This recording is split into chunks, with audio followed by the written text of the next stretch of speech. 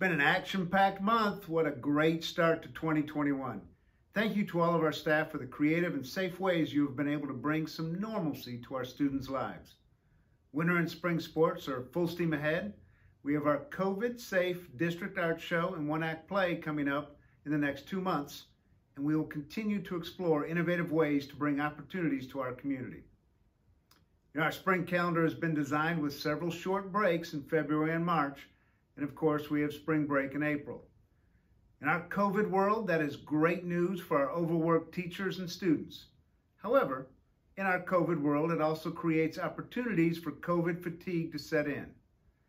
Please be mindful that when you are not at school, you still need to be careful as COVID-19 has not taken a break.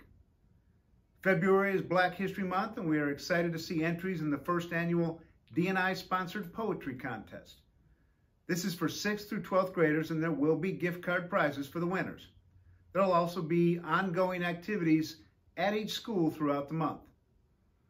You know, COVID and education has certainly been in the news lately. I continue to be so thankful for the staff I, hear, I have here at Buford. Our teachers continue to balance teaching digitally and in person to serve students and parents as best we can. We are better together. This is a team effort. Please continue to monitor your child's health on a daily basis, and if they are not feeling well, please keep them home.